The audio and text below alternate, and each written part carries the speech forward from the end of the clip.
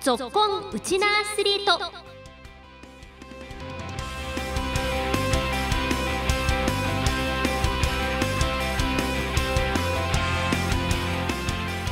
皆さんこんにちは。ラジオ沖縄アナウンサーの杉原愛です。この番組は学生スポーツからプロスポーツまで県内で活躍するウチナアスリートを全力で応援しようという番組です。毎月最終週のこの時間は女子サッカーチームビクサーレ沖縄 FC ナビータを応援するぞっこんナビータのコーナーをお送りします。今日も15分間お付き合いください。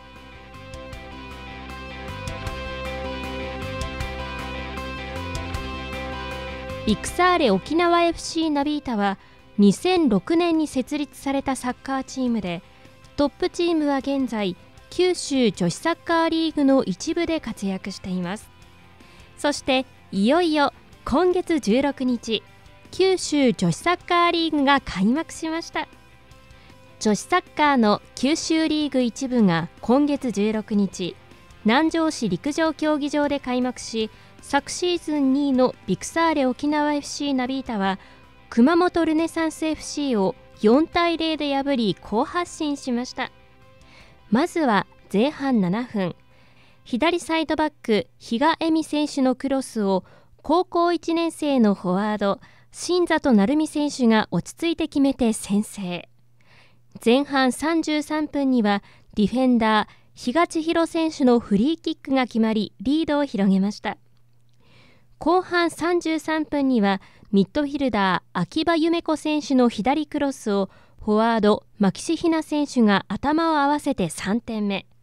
最後アディショナルタイムにはゴール前でフォワード知念マーヤ選手のパスを仲間姫香選手が決めチーム最年少中学3年生コンビでダメ押し点を決めました。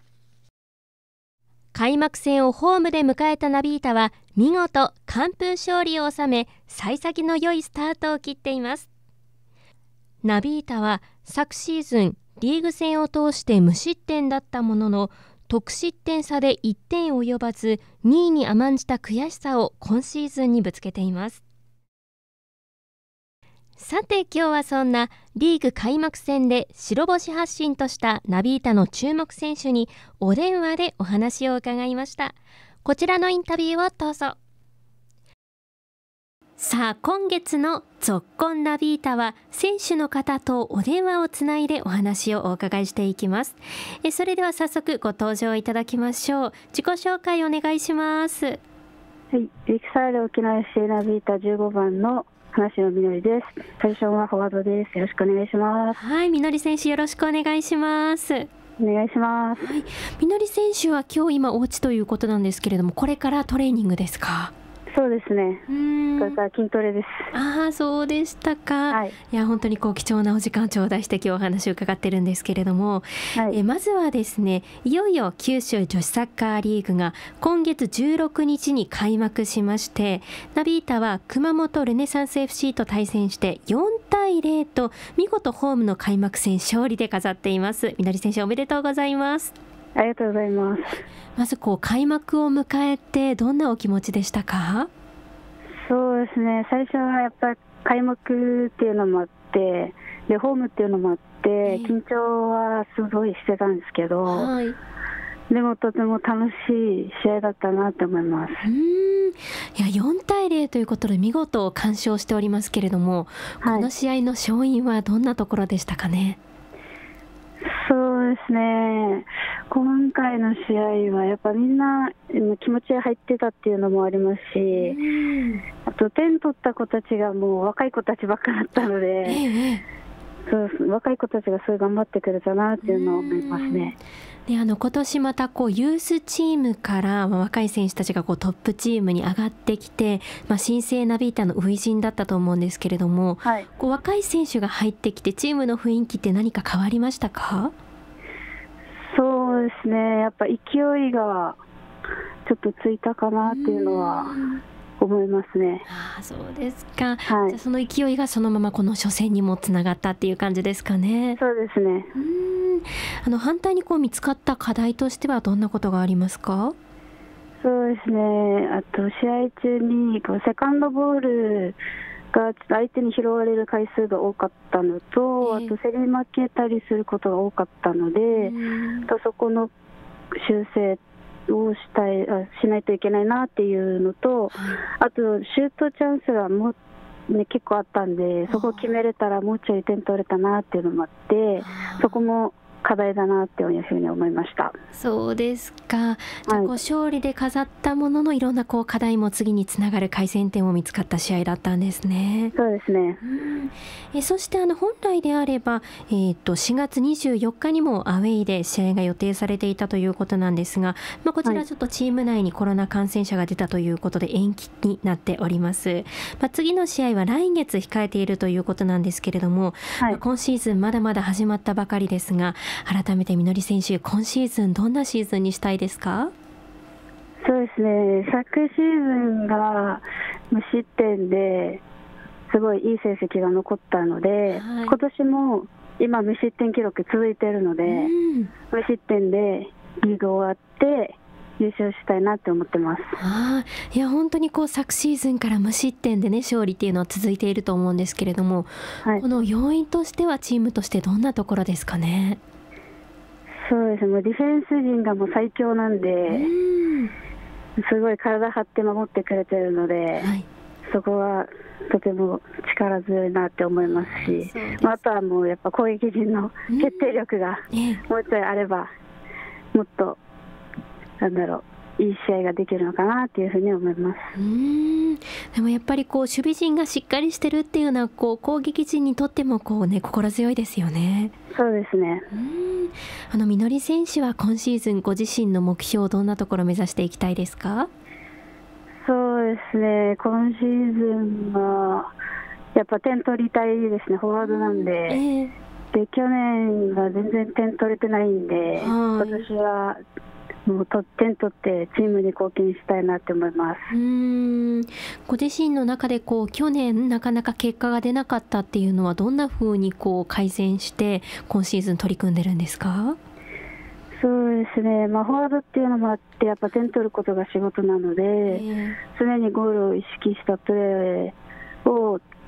こう考えながらやったりしてるんですけど、うん。まあね、うまくいかないことがまあ多いんで、はい。まあ、点取れる選手になりたいなっていうのをずっと思ってます。うーん。今こうご自身が意識して取り組んでいるトレーニングですとか練習はあったりしますか？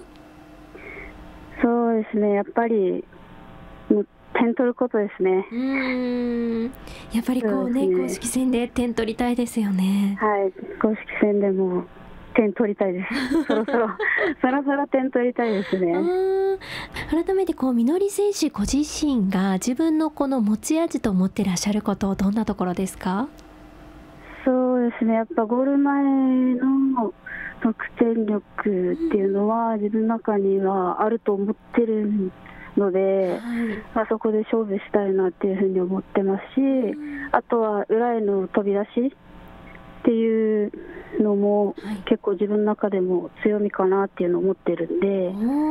まあ、フォワードならではのはい。こう飛び出しっていうのと得点力得点うんこのゴール前での仕事っていうのは自分の中の特徴的かなっていうふうに思います。うんいや本当にこうみのり選手がチームのね勝利に導くゴール決められることを私も楽しみに応援しております。はい、ありがとうございます。はいまあ、なかなかこうここ数年リーグも新型コロナウイルスの影響で、まあ、全ての試合ができないっていうことも続いていると思うんですけれども、はいこう、チームとしては今年どんな目標を掲げて頑張っていきたいですか？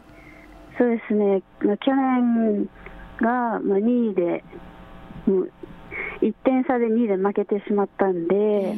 もう今年はもう絶対優勝っていうのは、うんみんな多分持ってると思いますね。あーじゃあこうリーグ優勝をこう完全優勝したいっていうのがやっぱりありますかね。そうですうね、んいやそのためにはやっぱり一試合一試合この勝ち星を積み重ねていくっていうことが大切ですね。そうですね。うんまたあの次の試合は来月予定されているということなんですけれどもこの次の試合に向けての意気込みもぜひ聞かせてください。そうですえっと、来来月の試合は、まあアウェーで、ちょっと皆さんにプレーを見せることはできないんですけど、絶対勝って、皆さんにいい報告できるようにするので応援よろしくお願いします。はい楽しみに待っております。ではですね最後になったんですけれどもみのり選手ご自身の、まあ、今シーズンのこの意気込みもぜひ聞かせてください。今シーズンはいっぱい試合に出てチームのために活躍できるように頑張りたいなと思いますはい、ぜひたくさんゴール決めてください。応援しております。はい、ありがとうございます。はい、えー、この時間はビクサーレ沖縄 FC ナビータの花城みのり選手にお付き合いいただきました。みのり選手ありがとうございました。ありがとうございました。新戦力の中高生ら若い選手の躍進もあり、見事白星発進となったナビータ。来月の試合も楽しみです。さて今週もお別れのお時間が近づいてきました。今日は花城みのり選手のお気に入りの一曲でお別れです。皆さんこんにちは。リクサーレ沖縄 FC ナビータ15番の花城みのりです。と今シーズン開幕リーグ開幕して優勝を目指して頑張るので応援よろしくお願いします。今日のお別れの曲は3本マスターのできっこないをやらなくちゃです。その曲にした理由は自分が落ち込んでる時に聴いたらめちゃめちゃ元気が出るからです。来週もうちのアスリートにぞっこん